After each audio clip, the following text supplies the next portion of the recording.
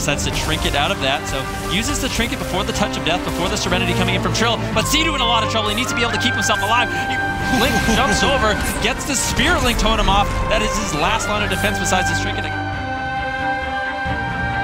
Conduit cheap shot, he trinkets, blinks on top of him mid Poike. If Raiku can secure a sheep, Nixie's right on top of him, looking to deny it. Whaazz gets a sap on mid Poike, out of the Psychic Scream. Alec three temp shields, he gets purged on it. They swap to Nixie with no trinket. Mid Poike leaves the stun, but Nixie's in so much trouble. The smoke bomb gets dropped, he's out of line of sight. He barely stays alive. Mid Poike manages to pull through and somehow keep this together.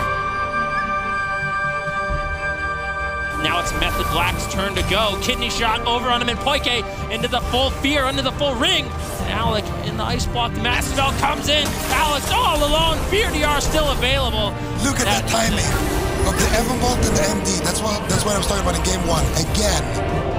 Kidney shot, for a poly. They get the poly. Dizio's far away though. He could kite. He gets rooted by the flurry and gets Conduit cheap shot. Just gets deleted instantly from the arena. Abster just completely tapped on mana. Janimals is almost about to go down. They have to kill Janimal in this next couple of seconds. A full hex from Absterge is going to punish the team of Super Frogs and find the kill.